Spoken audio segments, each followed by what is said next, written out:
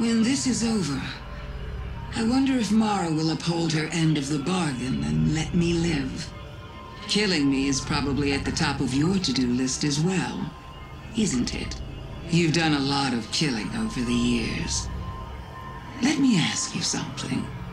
Of all the enemies you've fought, how many saw your ghost and realized, ah, that's why Guardians are so strong?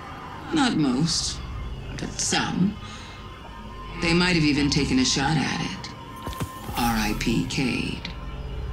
Now, how many saw beyond your ghost? How many followed the line of your light straight back to the Traveler? And how many knew enough to aim a weapon there? A few. The smart ones, the dangerous ones. You'd recognize their names. Listen to me now. Look beyond me to my worm. Look beyond my worm to something far, far worse. Then look down at that little gun in your hand and tell me. What do you think you're going to do with that thing?